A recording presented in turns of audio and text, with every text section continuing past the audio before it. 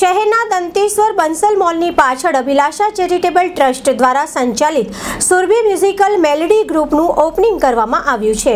અભિલાષા charitable trust અને golden age senior citizen ક્લબના સહયોગથી સોળ ત્રણ બે હજાર ચોવીસના રોજ થિયેટર સ્વિમિંગ પુલ પાસે દર્શનમ એન્ટ્રિકા દંતેશ્વર બંસલ મોલની પાછળ સુરભી મ્યુઝિકલ મેલેડી ગ્રુપનું ઓપનિંગ કરવામાં આવ્યું હતું. એમાં ઉપસ્થિત રહેલા મહેમાન અને અભિલાષા ચેરિટેબલ ટ્રસ્ટના ટ્રસ્ટીઓ અને દર્શનમ એન્ટિકાના ગોલ્ડન એન્જિનિયર્સ સિટીઝન ક્લબના મેમ્બર અને અભિલાષા સ્પેશિયલ સ્કૂલની દીકરી દ્વારા ગણેશ વંદના ડાન્સ કરી મહેમાનોનું સ્વાગત કર્યું અને પ્રોગ્રામની શરૂઆત પણ કરી હતી. અભિલાષા ચેરિટેબલ ટ્રસ્ટ દ્વારા ઘણી બધી એક્ટિવિટીઝ ચાલતી જ હોય છે અને ઘણા એવા સેવાના કાર્યો કરતી જ હોય છે. આ સંસ્થા અને હવે એક નવું બીડું ઉઠાવવા જઈ રહ્યું છે.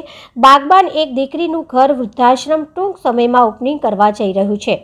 બરોડાથી પિસ્તાળીસ કિલોમીટરના અંતરે માસર રોડ ગજેરા વચ્ચે અભિલાષા ચેરિટેબલ ટ્રસ્ટ અને આપણું દર્શનમ એન્ટિકામાં જે senior citizen gold age senior citizen ચાલે છે, એમાં અમે સહયોગથી આજે અહીંયા આગળ સુરભી મેલોડી ગ્રુપનું ઓપનિંગ કરવાનું આવ્યું છે અને એ બાબતે આપણે અહીંયા આગળ મ્યુઝિકનો પ્રોગ્રામ રાખવામાં આવ્યો છે.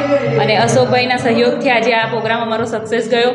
તો એમનો પણ હું આભાર માનીશ અને અમારા મહેમાનો જે અતિથિ મહેમાન આવ્યા છે, એમનો પણ હું ખૂબ ખૂબ આભાર માનીશ કે અમારા આજે આ પ્રોગ્રામને આવી અને એની શોભા વધારી, તો એ માટે હું એ લોકોનો પણ આભાર ખૂબ ખૂબ માનીશ. અને બીજું મારે એ કહેવું છે કે હું અભિલાષા ચેરિટેબલ ટ્રસ્ટ દ્વારા સિનિયર સિટીઝન સાથે તો હું જોડેલી જ છું. અને હવે હું મારા આશ્રમનું ઓપનિંગ કરવા જઈ રહી છું. તો મારા દરેક જે મારા ચાહતા લોકો છે, એમને હું એક રિક્વેસ્ટ કરીશ કે મારી આ સેવામાં પણ સહભાગી થાય અને મને એમાં પણ ખૂબ સપોર્ટ આપે. એ માટે હું એક બધાને રિક્વેસ્ટ કરવા માગું છું. Thank you so much senior citizen જે સંગીતનું જે છે, તે સંગીતના માધ્યમ દ્વારા બધાને એકમેકને ભેગા કરેલા છે અને ખરેખર એક આનંદનો અને ઉત્સવનો દિવસ કહેવાય આજનો કે ત્રિવેણી ત્રણ ત્રણેય સંસ્થાઓ ભેગા થઈને સંગીતનો કાર્યક્રમ આપી રહ્યા છે. સાથે સાથે એમને જે ઉમદા, એમના પોતાના કાર્ય છે કે ભાઈ લોકોને જરૂરમંદોને મદદરૂપ થવું અને એને માટે એમની એનજીઓ પોતે બી શરૂ કરેલી છે. એ બદલ પણ એ અભિનંદન પાત્ર છે. વડોદરા શહેરની અંદર જે સિક્સટી ફાઇવ એમ કે પાસઠ સિનિયર કેન્દ્રો ચાલે છે, એની અંદર જે સંગીત છે તે દરેક કેન્દ્રો કરે છે. અઠવાડિયામાં એક સપ્તાહ. અહીંયા પણ આ રીતના લોકોનો સંગીતનો કાર્યક્રમ ચાલે છે. ઘણો સારો છે. અને હું સર આ લોકોને અભિનંદન આપું છું કે આવા કાર્યક્રમો કરતા સાથે સાથે વડોદરાની અંદર સિનિયર સિટીઝનો માટે ત્રણ સંસ્થા એટલી સરસ કામ કરે છે.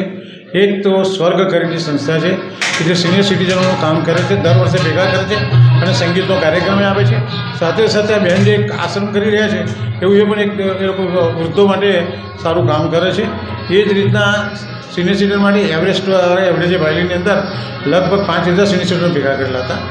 એટલે સિનિયર સિટીઝનોને એક આનંદરૂપ અને જીવનની અંદર જે અત્યારે એમ કહીએ કે ભાઈ, ઘણા એમ કહો માણસને અત્યારે પૈસા લોકો પાસે બહુ છે, પણ માણસ નથી અને માણસની ભૂખ બહુ છે.